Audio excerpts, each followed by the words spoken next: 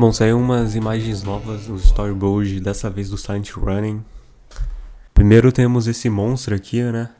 Que é aquele demônio que aparece lá no videoclipe. Bom, tem uma imagem aqui dele de costa, né?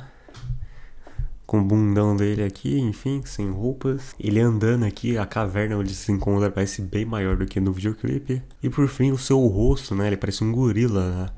Bem diferente dessa versão aqui dele. Aqui ele parece muito mais um humanoide, né? Parece mais uma pessoa mesmo. Aqui vocês podem ver que ele até anda, né, com um gorila mesmo. Então eu acho que seria um demônio gorila, mas eu não sei também por que, que eles mudaram isso. Eu acho até que na versão final tá até mais macabro. Outras imagens também que eles lançaram é a introdução é uma cena deletada onde mostra o Murdoch, o Russell e a Noodle chegando com aquele carro voador para salvar o Dia. Dá pra ver que eles estão aqui nas ruas de Hollywood. Esse carro onde eles estão é esse carro aqui, ó. Ele apareceu já algumas vezes. Inclusive, ele aparece no plano do Murdoch.